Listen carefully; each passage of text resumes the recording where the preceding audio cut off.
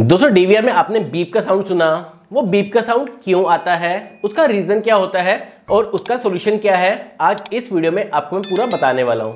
Guys पहला reason आपकी hard disk काम नहीं कर रही है। आपकी हार्ड डिस्क डैमेज हो गई है। अगर आप रिकॉर्डिंग चेक करेंगे और आपकी रिकॉर्डिंग शो नहीं हो रही हार्ड डिस्क में एरर आ रहा है, आप कैसे चेक कर सकते हैं हार्ड डिस्क में एरर है कि नहीं है? तो आपको जाना पड़ेगा सेटिंग में। आपको लेके चलूँगा अपने डीवीआर की स्क्रीन पे। कहाँ पे आपको शो होगा कि आपकी हार्ड डिस्क काम कर रही है या नहीं कर रही। तो नमस्कार दोस्तों, मेरा नाम है गुलशन। आप देख रहे हैं सीसीटीवी हेल्पलाइन चलते हैं डीवीआर की स्क्रीन पे। गाइस जैसे आप आ गए डीवीआर की स्क्रीन पे तो पहले खोलते हैं मेन मेन्यू गाइस यहाँ पे search backup camera info setting पाँचों ऑप्शन सेटिंग का है। सेटिंग के अंदर आपको ऑप्शन मिलेगा। थर्ड ऑप्शन स्टोरेज तो आपने स्टोरेज में आना है। यहाँ पे हार्ड डिस्क सेटिंग में आपने ऑप्शन मिल जाएगा। हार्ड डिस्क सेटिंग पे क्लिक करना है। सो so गाइस मेरी यहाँ पे hard disk zero M show हो रही है। हो सकता है आपके यहाँ पे हार्ड डिस्क शो भी हो रही हो, लेकिन स्टेटस में, जैसे आपको स्टेटस दिख रहा है, यहाँ पे नॉर्मल नहीं आ रहा हो अनफॉर्मेटेबल आ रहा हो तो उसे एक बार फॉर्मेट कर दें हार्ड डिस्क को। अगर वो फॉर्मेट नहीं हो पा रही हैरर आ रहा है तो हार्ड डिस्क को चेंज कर दीजिए। मतलब मेनली इशू हार्ड डिस्क की वजह से आता है। दूसरा रीज़न सम डी में ऐसी सेटिंग होती है कि जब हार्ड डिस्क फुल हो जाती है तो ऐसा एरर आता है। तो भी आपको यहाँ पे शो हो जाएगा। एरर लिख के आएगा कि हार्ड डिस्क फुल हो गई है। या 20 परसेंट का स्पेस बचा है तो भी ऐसा एरर आता है। वो बेसिकली इंडिगो मॉडल में आता है। मैं भी बात कर रहा हूँ कोस्पिंग मॉडल का। गाइस तो मेरी हार्ड डिस्क शो नहीं हो रही। इस वजह से बीप बज रही है। तो इसे बंद कैसे कर सकते हैं? मतलब मेरे पास हार्ड डिस्क तो काम नहीं कर रही, लेकिन ये साउंड बहुत इरीटेटिंग है। तो मैं चाहता हूँ, फ़िलहाल जब तक रिकॉर्डिंग नहीं भी हो रही, जब तक कैमरे वाला आके हार्ड डिस्क को चेंज नहीं भी कर रहा, तब तक ये साउंड बंद हो जाए। तो गाइस आपने जाना है। सबसे पहले मेन्यू खोलना है। मेन्यू के अंदर सेटिंग का ऑप्शन आएगा। सेटिंग के अंदर सेकेंड ऑप्शन आएगा इवेंट का। सो so गाइज़ यहाँ पे आपको पहला ऑप्शन मिल रहा है डिडेक्ट का। दूसरा ऑप्शन मिल जाएगा अब नॉर्मलिटी का।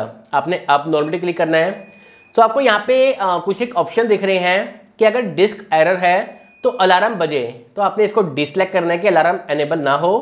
और यहाँ से करना है अप्लाई गाइज़ दूसरा काम अगर आपकी बीप बंद नहीं हो रही तो यहाँ पे एक नो डिस्क का ऑप्शन है। आपने उस पर क्लिक करना है और यहाँ से इसको डिसेबल कर देना है। दो तरीके से आपका अगर हार्ड डिस्क का इश्यू होगा तो बंद हो जाएगा। अब और क्या क्या इसमें ऑप्शन हो सकती हैं? अगर डिस्क में नो स्पेस है तो अलार्म शो करे। कितना रह जाए तो शो करे। जैसे मेरे बाय डिफ़ॉल्ट ज़ीरो डिसेबल आ रहा है।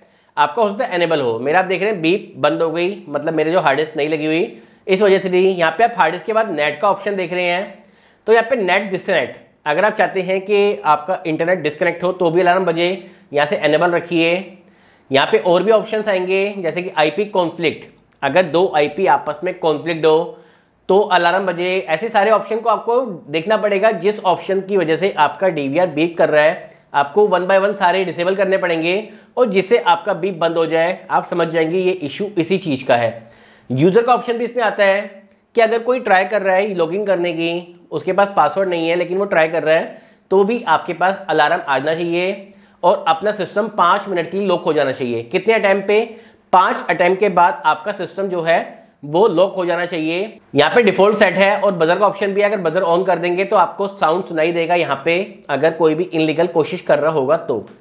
सो ये तीन तरीके हैं बीप बंद करने के। जैसे मेरी हार्डिस्ट नहीं है, लेकिन मैंने बीप बंद कर दी है डीवीआर में लगा हुआ है। अब बीप नहीं बज रही तो इस तरीके से आपने डीवीआर के बीप बंद कर सकते हैं। गाइस सीपी प्लस को लेकर एक प्लेलिस्ट है जो कि दे रहा हूँ डिस्क्रिप्शन में। उसमें ढेर सारी वीडियो पड़ी हैं। पासवर्ड इशू है। आपको K V M S pro install करना है। आपको आई पी फाइंडर कैसे इंस्टॉल करते हैं कैसे यूज़ करते हैं और भी ढेर सारी इन्फॉर्मेशन उस वीडियो में पड़ी हुई हैं। सो so, अगर वीडियो पसंद आई हो तो please click on the like button बाकी वीडियो डिस्क्रिप्शन पे प्लेलिस्ट पे क्लिक कर देख सकते हैं। अगर चैनल पसंद आया हो वीडियो पसंद आई हो तो प्लीज़ सब्सक्राइब करके बेल आइकन को क्लिक कर दीजिए ताकि फ्यूचर में वीडियो जब भी आए तो आपको शो हो जाए। थैंक यू सो मच इस वीडियो को इतना लंबा देखने के लिए। मन में कोई भी और क्वेश्चन रह गया हो, जिसकी वीडियो मेरे चैनल पे अवेलेबल नहीं है तो कमेंट बॉक्स में राइट कर दीजिए, उसके लिए वीडियो बना दूँगा। Thank you so much take care